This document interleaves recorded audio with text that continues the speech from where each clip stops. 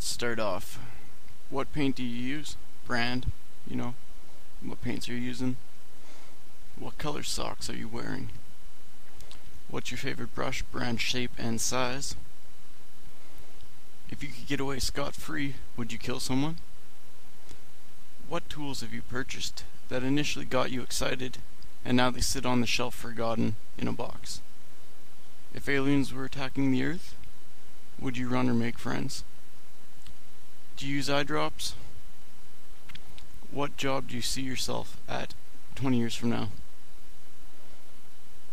Do you think but it's orky is a good excuse for crap work?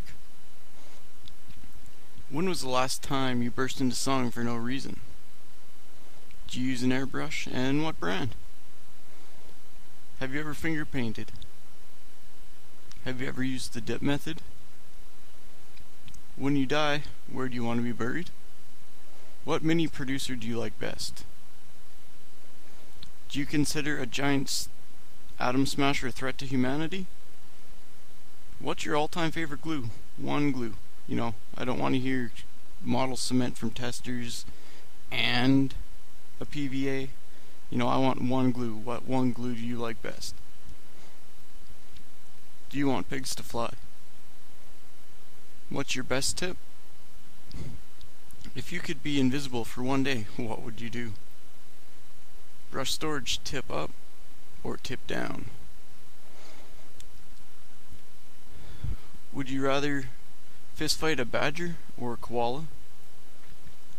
What's the next technique you want to learn? What would be the theme song of your life?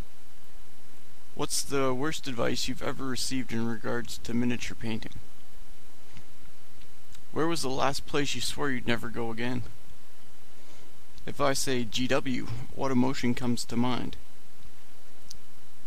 Would you trust a polar bear with your life? Dropper or pot? Would you rather eat moldy meat or drink raw milk? If you were a model company, what would you do to bring in new players? Have you ever played chicken with a card just for the hell of it? Are you single? Would you take advice from a talking sandwich? Are you the stereotypical nerd slash geek? What would you rather blow up, a kitten or a puppy? Thanks guys, have some fun with the questions. You guys should answer with another video response and uh, I have to thank the guys in Ventrilo for suggesting uh, the, the naked vlog. Have fun, keep painting.